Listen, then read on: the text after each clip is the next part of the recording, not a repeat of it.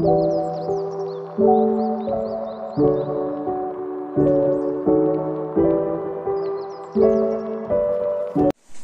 छ engineering hub YouTube च्यानलमा आज हामी आरसी डिजाइनबाट टिबिमको मोमेन्ट अफ रेजिस्टेन्स कसरी निकाल्ने भन्ने न्युमेरिकल लिएर आएको छौँ। यो चाहिँ सिङ्गली रेनफोर्स टिबिमको लागि रहेको छ। अब क्वेसनमा चाहिँ हामीले के के दिएको छ त भन्दाखेरि a T beam has uh flange width of twelve hundred mm and flange thickness being one hundred mm भनेको छ। है हाम्रो एउटा टिबिम छ यहाँ।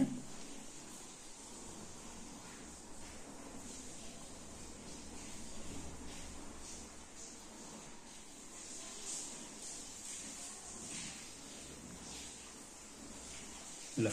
यो चाहिँ टिबीमा भयो अब टिबीमा चाहिँ हामीलाई यो फ्रेन्च वेट यो माथिको फ्रेन्चको वेट चाहिँ कति दिएको त भन्दाखेरि टुवेल्भ हन्ड्रेड दिएको छ। र यो फ्लेन्सको थिकनेस चाहिँ अथवा डेप्थ अफ फ्लेन्स चाहिँ हामीलाई कति दिएको छ त? वान हन्ड्रेड एमएम छ। है। Steel reinforcement of area twelve hundred seventy two mm square is placed at an effective depth of four hundred mm भनेको छ। है। यहाँनिर चाहिँ हामीलाई अब स्टिल छ। यहाँ चाहिँ यसको चाहिँ एरिया एएसटी भयो डाइरेक्ट अब हामीलाई एएसटीको भ्यालु दिएको छ। र यसको हाम्रो ए रडको सेन्टरसम्मको डेप्थ चाहिँ कति छ त भन्दाखेरि effect depth D equal to चाहिँ फोर हन्ड्रेड एमएम छ है। ल। र त्यसपछि हामीलाई कङ्क्रिटको स्ट्रेस र स्टिलको स्ट्रेस है। कङ्क्रिटबाट चाहिँ फाइभ न्युटन पर एमएम स्क्वायर र स्टिलको चाहिँ two hundred thirty mm newton per mm square चाहिँ एक्सिड हुनु भएन भनेको छ। र मोडला रेसियो एमको भ्यालु चाहिँ एटिन पोइन्ट सिक्स सेभेन दिएको छ। त्यसबाट चाहिँ हामीले यो टिबिमको मोमेन्ट अफ रेसिस्टेन्स कति हुन्छ निकाल्नुपर्ने छ। गिभन डाटाहरू के के दिएको छ त भन्दाखेरि एउटा फ्लेन्सको विड्थ है विड्थ अफ फ्लेन्स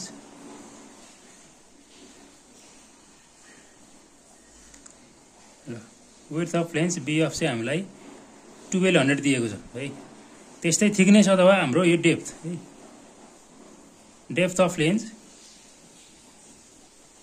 फ्लेन्स डिएफ चाहिँ कति दिएको छ हामीलाई? हन्ड्रेड एमएम दिएको छ है? र एरिया अफ स्टिल चाहिँ र एएसटी चाहिँ हामीलाई कति दिएको छ त? Twelve hundred seventy two mm दिएको छ। र effective depth effective depth small D चाहिँ हामीलाई फोर हन्ड्रेड एमएम छ। र स्ट्रेस है हाम्रो यो पर्मिसुअल स्ट्रेस चाहिँ कति दिएको छ त कङ्क्रिटमा? Five newton per mm square stress in concrete sigma CBC चाहिँ फाइभ न्युटन पर एमएम स्क्वायर यो चाहिँ एक्सिड हुनु भएन है पर्मिसुअलले दिएको छ त्यस्तै स्टिलको चाहिँ stress in steel sigma ST चाहिँ हामीलाई कति दिएको छ त? Two thirty newton per mm square र अर्को हाम्रो यो मोडला रेसियो। एम भनेको चाहिँ कति छ एटिन पोइन्ट सिक्स सेभेन दिएको छ। है ल। अब कुनै पनि बिमको चाहिँ मोमेन्ट अफ रेसिस्टेन्स निकाल्न चाहिँ हामीले सुरुमा के चेक गर्नुपर्छ त भन्दाखेरि यो बिम चाहिँ अन्डर रेनपर्स हो कि ओभर रेनपर्स हो भनेर चेक गर्नुपर्ने हुन्छ। त्यो चेक गर्न चाहिँ हामीले के के निकाल्नुपर्छ त? क्रिटिकल न्युट्रल एक्सिस र एक्चुअल न्युट्रल एक्सिस हामीले कम्पेयर गर्नुपर्ने हुन्छ। है त्यो हो भने हामीले सबभन्दा सुरुमा चाहिँ क्रिटिकल न्युट्रल एक्सिस निकाल्नुपर्छ। है त अब। क्रिटिकल न्युट्रल एक्सिस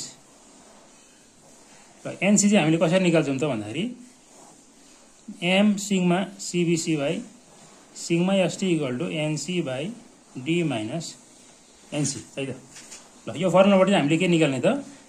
एनसीको भ्यालु है क्रिटिकल न्युट्रल एक्सिसको भ्यालु निकाल्नुपर्छ। एम भनेको हामीसँग eighteen point six seven sigma CBC हामीसँग कति छ त? फाइभ बाई सिग्मा एसटी भनेको two thirty equal to NC by D भनेको हामीलाई फोर हन्ड्रेड दिएको छ माइनस एनसी यहाँबाट हामीले के निकाल्ने त? एनसीको भ्यालु निकाल्ने क्रिटिकल न्युट्रल एक्सिस के गर्ने त भन्दाखेरि eighteen point six seven into five by two thirty छ इक्वल टु ल एनसीलाई हामीले एक्स मान्ने by four hundred minus X shift solve गरेपछि हाम्रो के आउँछ? त एनसीको भ्यालु आउँछ है त यहाँबाट। यहाँबाट आयो one hundred fifteen point four seven eight छ यसलाई फोर एट लेख्न सकियो यो चाहिँ हाम्रो क्रिटिकल न्युट्लेक्स छ। अब यो चाहिँ केसँग कम्पेयर गर्ने त? एक्चुअल न्युट्लेक्ससँग कम्पेयर गर्ने। एक्चुअल न्युट्लेक्स चाहिँ अब निकाल्नलाई चाहिँ टिभीमा एक्चुअल न्युट्लेक्सिस निकाल्न चाहिँ दुईवटा चाहिँ क्राइटेरिया हुन्छ है।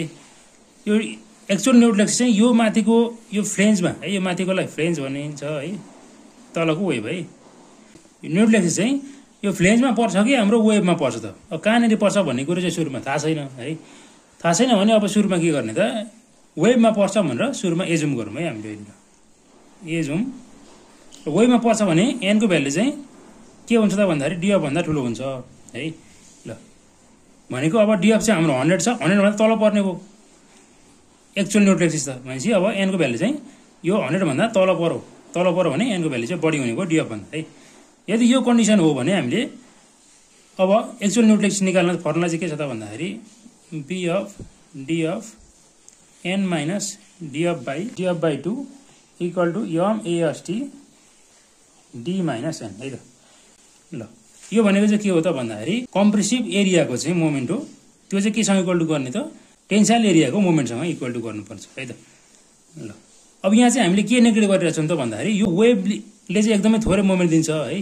वेभले दिने मोमेन्ट चाहिँ हामीले यसमा नेगेटिभ गरिरहेको छौँ है? ल। अब बिएफ भनेको भ्यालु कति छ त भन्दाखेरि टुवेल्भ हन्ड्रेड छ। इन्टु डिएफ भनेको हन्ड्रेड छ। एन भनेको निकाल्नु पर्ने छ।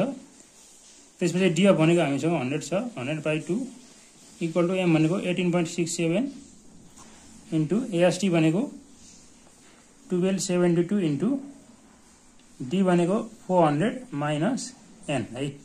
यहाँबाट बाई सल्भिङ गर्ने एनको भ्यालु आउँछ है त? ल। Twelve twelve hundred into one hundred in into ल एनलाई एक्स मान्ने X minus hundred by two hundred by two equal to eighteen point six seven into twelve seventy two into four hundred minus ल एनलाई X मान्ने यहाँबाट हाम्रो shift solve गरेपछि एनको भ्यालु आउँछ है। ल कति आयो त? Enco value one hundred seven point eight mm आयो त। ल। यो भ्यालु चाहिँ अब हामीले यो सुरुमा के मानेको त एनको भ्यालु डिएफभन्दा ठुलो मानेको थियौँ। भनेपछि यो डिएफभन्दा ठुलो आगे आएन चेक गर्ने। डिएफ भनेको छ? हामीसँग हन्ड्रेड छ। डिएफको भ्यालु चाहिँ हामीसँग हन्ड्रेड छ। भने चाहिँ हन्ड्रेडभन्दा ठुलो आयो। ठुलो आयो भने हामीले मानेको चाहिँ के रहेछ त? ठिक रहेछ। हामीले मानेको जुन चाहिँ? ठिक रहेछ है। Therefore our assumption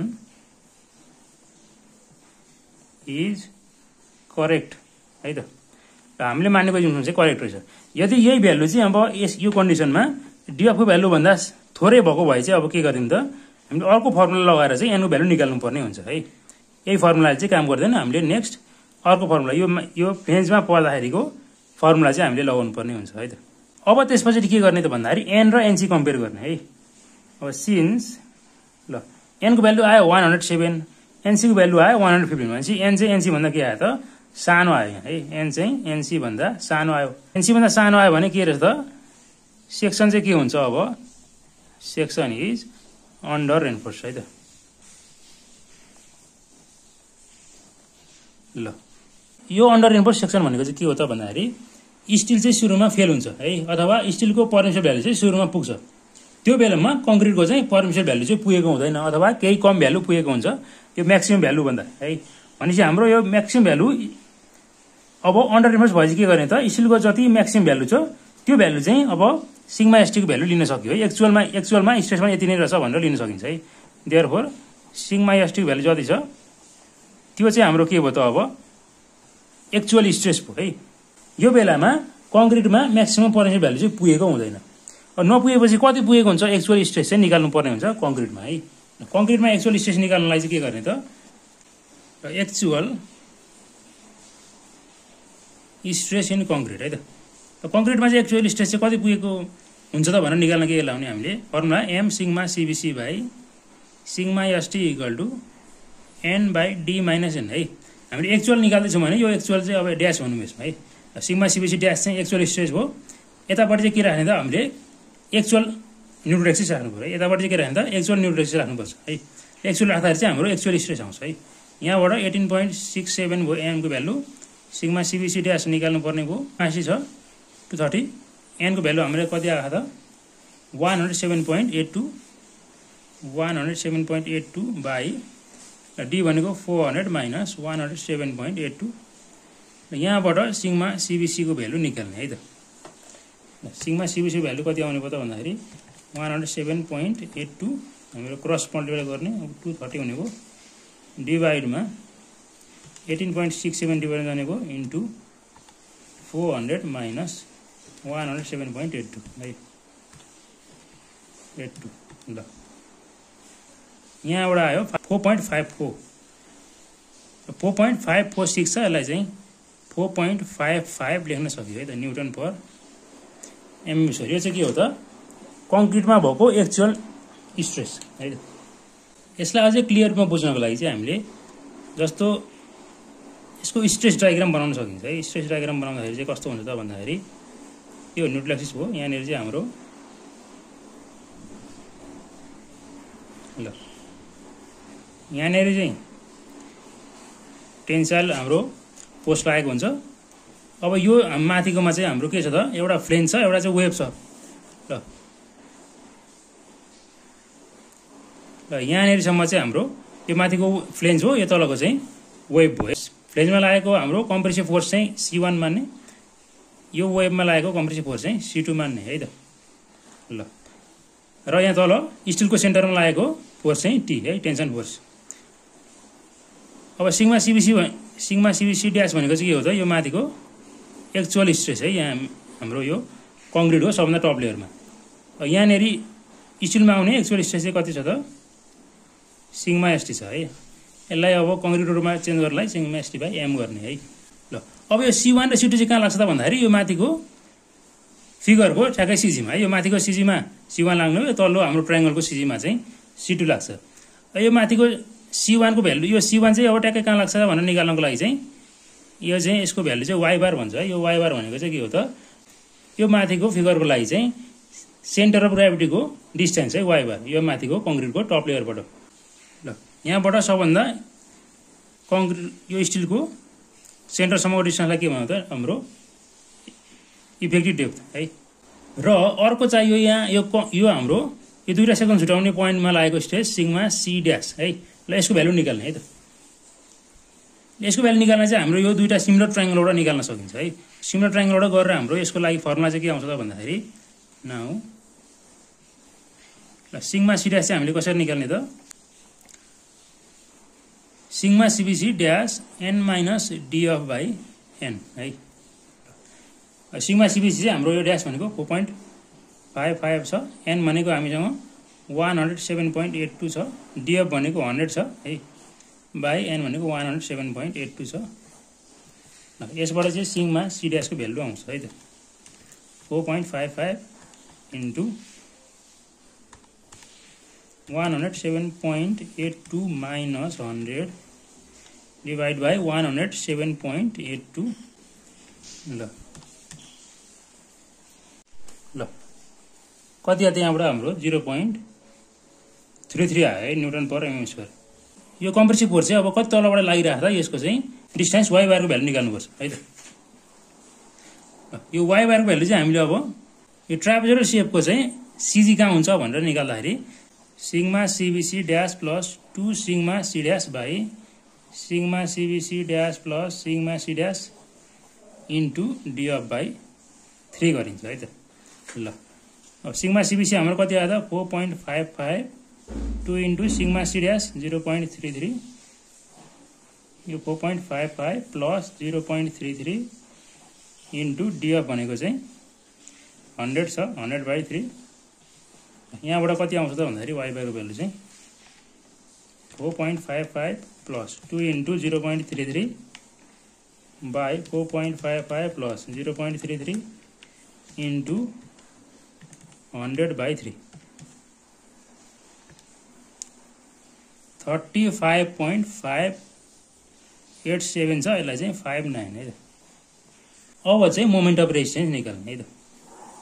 ल अब मोमेन्ट अफ रेजिस्टेन्सको लागि चाहिँ moment of resistance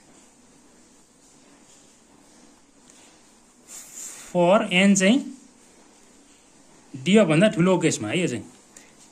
एन चाहिँ डिओभन्दा ठुलो छ भने एउटा फर्मुला छ हाम्रो। एन चाहिँ डिओभन्दा सानो छ भने फेरि फर्मुला फरक छ है। ल यसको लागि चाहिँ अब मोमेन्ट अफ रेजिस्टेन्स एमआरको भ्यालु यसको फर्मुला के छ त भन्दाखेरि half sigma CBC plus sigma C dash दुइटै ड्यास है। Into B of D minus Y भएर है त। हाफ भयो सिग्मा सिबिसी भनेको कति आयो त? Four point five five plus zero point three three into BF भनेको टुवेल्भ हन्ड्रेड डिएफ भनेको हन्ड्रेड इन्टु डी भनेको four hundred minus DF Y bar भनेको thirty five point five nine है त। ल यहाँबाट हाम्रो भ्यालु कति आउँछ अब? One by two into four point five five plus zero point three three into twelve hundred into hundred into four hundred minus thirty five point thirty five point five nine है त ल। यो आउने भयो ten six six nine nine two four eight यो चाहिँ newton एमएममा है त ल। यसलाई टेन टु पावर सिक्सले डिभाइड गर्ने यसलाई टेन टु दि पावर सिक्सले डिभाइड गर्ने यो चाहिँ केमा जान्छ त? One hundred six point six nine nine भनेको सेभेन जिरो लेख्न सक्यो है यो चाहिँ किलो न्युटन मिटरमा चाहिँ जान्छ है। यसरी चाहिँ हामीले सिङ्गली रेनफोर्स टिबिमको लागि चाहिँ मोमेन्ट अफ रेसन निकाल्न सकिन्छ है। आजको हाम्रो यो भिडियो कस्तो लाग्यो कमेन्ट गर्नुहोला साथै भिडियो मन परेमा लाइक तथा सेयर गरी च्यानललाई सब्सक्राइब गर्न नभुल्नुहोला। हामी अर्को भिडियोमा नयाँ विषयवस्तु साथ उपस्थित हुनेछौँ। धन्यवाद।